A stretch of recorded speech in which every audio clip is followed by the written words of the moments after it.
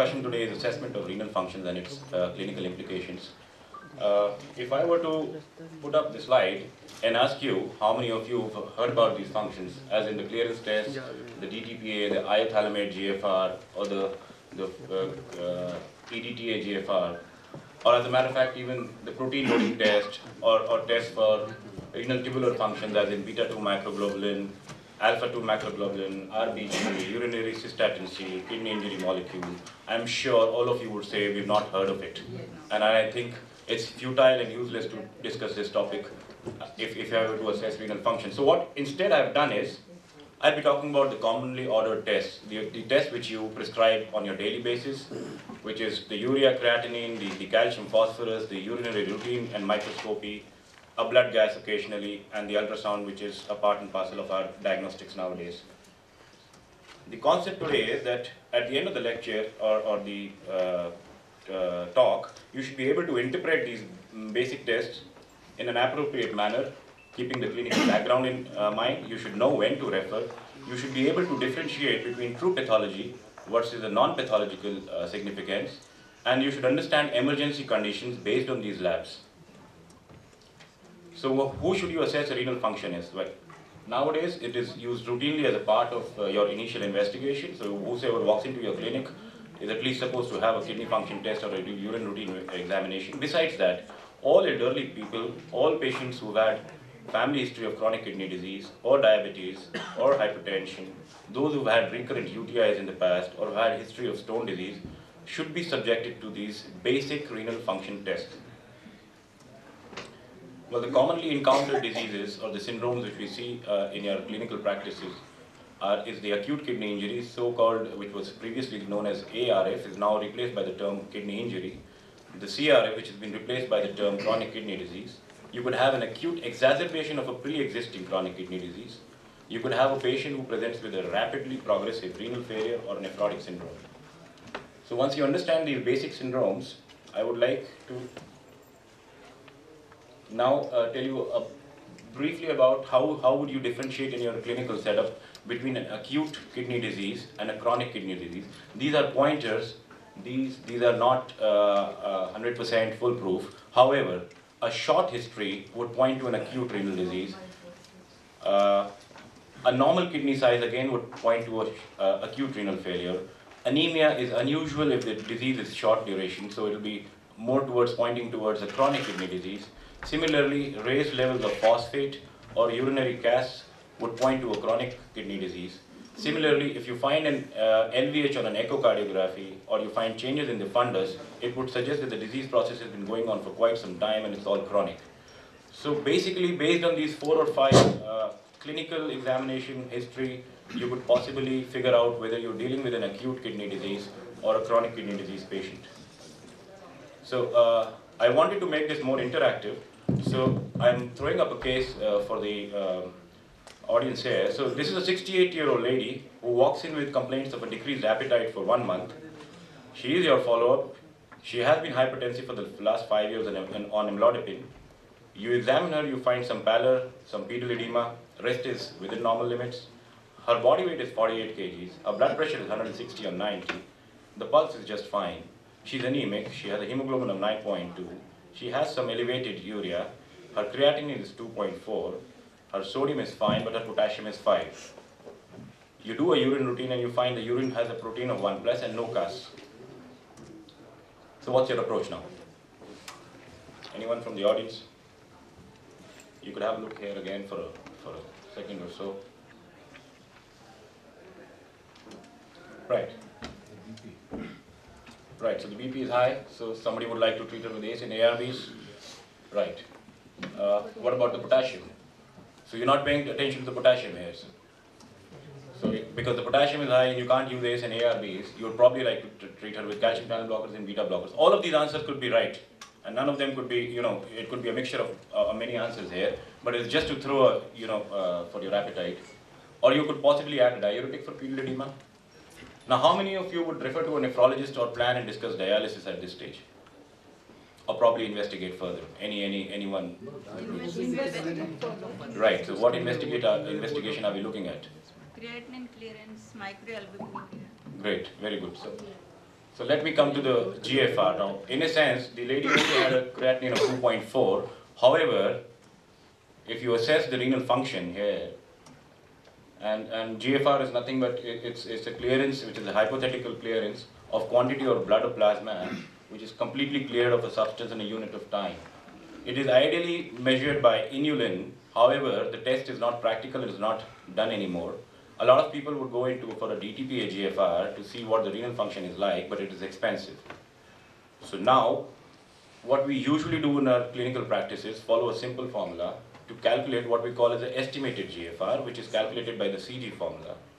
All you need is age and body weight, and if and, and, and if you, in fact, in your practice, if you send the weight of your patient which the lab will not have, they could actually give you the EGFR. EGFR has advantages. It is easily calculated on this formula. It is reproducible. It can be used to monitor progress. It is more meaningful than urea and creatinine, and I'll just tell you why in the next few slides. And there are inherent problems with serum creatinine. The relation between the, the creatinine and the GFR is, you know, uh, if you were to see, when the GFR falls from 100 to 50, the creatinine barely rises. On your y-axis, the creatinine is not even rising. You can see the two arrows merging. So it's actually when the when the GFR is falling much uh, lower than that, the creatinine starts rising. So it's it's quite deceptive to actually see the creatinine because the creatinine may be normal and the GFR is falling. The, the other discrepancy with creatinine is that you could have a high serum creatinine with normal GFR. You could get a spurious elevation with cephalosporins in diabetic ketoacidosis patients who are alcoholic who've taken vitamin C, or who are on drugs like cimetidine or trimethoprim, which block tubular secretion. Also, uh, uh, people who eat a lot of non-vegetarian food could have an uh, elevation of serum creatinine with normal GFR. So what I mean to say is creatinine is, is not to be uh, followed as sacrosanct and you know you follow patient creatinine because it could be deceptive. All the same, you could also have normal serum creatinine with CKD, wherein patients who are severely malnourished, and I'll come to that first slide again, who are elderly, that was a 68-year-old lady, who are of small size, and ladies of small size, yes. So, so if you were to calculate the EGFR by a simple CG formula, you would find that this lady has a GFR or a renal reserve of only 17 ml per minute to this audience. Is this chronic kidney disease? Yes, yes. Now, if it is chronic kidney disease, what stage is it? Yes, almost near yes, sir. Right. And how does staging help? Yes, Right. So yeah, a lot of you are uh, correct in a way. This is chronic kidney disease. And the KDIGO in 2003 came up with this, uh, this uh, wonderful classification. Now this was essentially based on uh, risk stratification. And if you see when the GFR or your estimated GFR comes to between 30 and 60, that's where the cardiovascular morbidity and mortality comes into picture. So if you don't address these issues at this, uh, if you keep on following creatinine, you will never know the GFR. You will not realize when to address these issues. So, and as a matter of fact, as you go down, you reach the ESRD stage, and a stage where you know the GFR falls between 15. However, if you're not able to place a fistula on time, the mortality is much higher. If you're not able to refer on time, the mortality is much higher. So in that lady where the creatinine was only 2.4, and people were trying to control the blood pressure, which is also fine, it is more important for her to be referred so that she can have an early initiation and, and you know the, the program of uh, chronic kidney disease uh, starts. Uh, that was the, the first theme today. So yeah, we, we were talking about further investigations. I would have done a kidney size on her to see whether this is actually acute or chronic. However, there's a caveat. You could also have chronic kidney disease wherein the size of the kidney is normal, as in diabetic nephropathy, hypertension, HIV nephropathy, and some infiltrative disorders.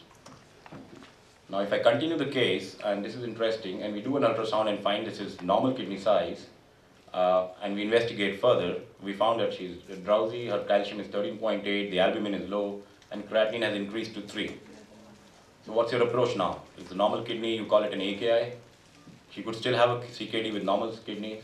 You refer to nephrologist because the creatinine has increased, or you refer to nephrologist because the calcium has increased. Yeah, this brings me to a very important concept, which is the indication for urgent dialysis. Most of you would be knowing these indications, but a lot of us should also understand that severe hypercalcemia also is an indication for urgent dialysis, more so in patients who are, who are in encephalopathy.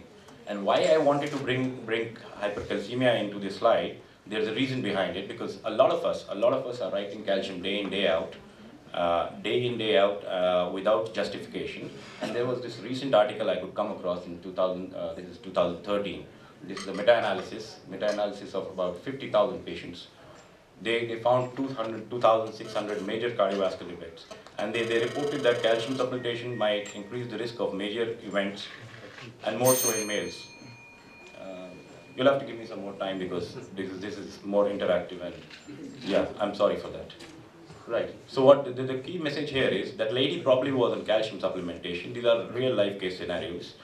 And, uh, and uh, the hypercalcemia was probably iatrogenic. And we are all responsible for inducing these hypercalcemia because we are prescribing calcium in all our patients. Uh, and I just fail to understand why. Because in long term, it has found that long-term calcium supplementation does not have any preventive role in osteoporosis as well. And my orthopedic colleagues would quite agree there. Right. So coming back to acute kidney injury, it could be pre-renal or it could be tubular necrosis. When I say uh, the risk factors for acute kidney injury, all elderly patients, all diabetics, or all patients who have had previous kidney disease are at risk for acute renal failure. The most common causes are again pre-renal or ATN. So coming back to your dengue now, this is what you have been dealing with all of you. So this young male presents with headache and vomiting. He's, he's kind of hypertensive. His pressure, the, uh, the pulse is fine. His NS1 positive, platelets are 90,000. His urea is elevated, the creatinine is fine. So what do you think the cause of renal failure is? Pre-renal is fair, yes, that's very good. And what action do you take now? You feel that it's renal failure, you, you admit him, you, you ask him to take oral fluids with paracetamol and do platelets, you ask him to take oral fluids, paracetamol and do daily PCV, you ask him to take oral fluids, paracetamol, or you refer. Anyone? And then why do you want to refer? Blood, urea is high. Blood urea is only pre-renal. So the catch here is the urea is high, the creatinine is normal, it's all pre-renal. The key- key concept here is patient is vomiting and cannot take orally. So if you've not had history in background while interpreting the test, it's of no use. So in this patient, the, the indication for referral for admission was he would not be able to take orally, and therefore you need to correct the pre-renal azotemia, which would eventually go on settle into ATN. Right, so the way, best way to differentiate between pre-renal azotemia and, and ATN is you do a urinary sodium and a plasma sodium, and urinary creatinine and a plasma creatinine. And if you calculate the ratio, if it is less than one, it is more or less pre-renal, where you can hydrate the patient and you could salvage the kidney. Otherwise, if you don't hydrate, these patients would eventually land up into ATN, and this is what will happen over the next two days. If his creatinine increases and urea increases, because he's, he's not been taking orally, you land up with a diagnosis of ATN and you'll probably land up on a dialysis. So the same patient you could have salvaged by giving IV hydration would land, land up into ATN if you just feel that this is just moderate elevation of urea. You need to keep the history back in the mind. Now this is uh, a diabetic lady who's on, on multiple drugs and her creatinine is only 1.4 but her urinary protein is 4 plus and uh, she has uncontrolled sugars, HbA1c of 9.5. What do you do? Dr. Khaira, I'd uh, Yes, please ask you to, minute, yeah. Ah, could Yeah. you, we have a minute more? Yeah, minute And then more. we'll take two questions only. Yeah, this is the last last theme, right? Right. Anyone? This is very interesting. So since this is the last theme and been cut short, there's, there's got to be a cache to this slide. There's a very key message here. So you could please read this for, for a 30 second odd. She has decreased appetite, decreased urine output. She's a type 2 diabetic on oral drugs.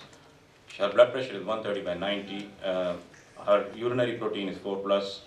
She has an HbA1c of 9.5. What do you do? Yeah, I'll end with this uh, theme. I had a few more to throw at, but, but yes, uh, we'll, we'll end here. The reason being? Kidney, kidney function, poor kidney function. Right. So if I were to calculate EGFR... Plus HbA 9.5. Right. That's why better to refer. Is that the reason to refer to a nephrologist? That's for endocrinologist. Protein 4 plus. Yeah, right. 4 plus. Right. So yeah, all of you are partly right here. So let me come to the reason. All diabetics who have heavy proteinuria, now this is the key, you see a lot of diabetics there, and you keep on doing macroalbuminuria, but once in a while you'll find a patient where the protein levels are high. So all patients of diabetes who have heavy proteinuria, where you don't find retinopathy, where you find microhematuria on, on urine routine, or the renal function is rapidly worsened, as in this case, they need urgent kidney biopsy to establish a diagnosis. So this was important. I would just take it away and I'll just come back to my last slide. Can you have this? Yeah. So what I wanted to convey here was you interpret renal functions keeping in view the history and the physical examination. You use the EGFR, which is very easy. It will give you the severity rather than the creatinine. It will help you label the disease. In all stage 3 CKD should be referred, onwards should be referred. A normal sized kidney can be seen in chronic kidney disease in a few scenarios. Dangerous hypercalcemia or hyperkalemia warrant urgent dialysis. Calcium supplementation should be judicious, it's, it's being used rampantly. And uh, seek help when not sure. Okay, thank you.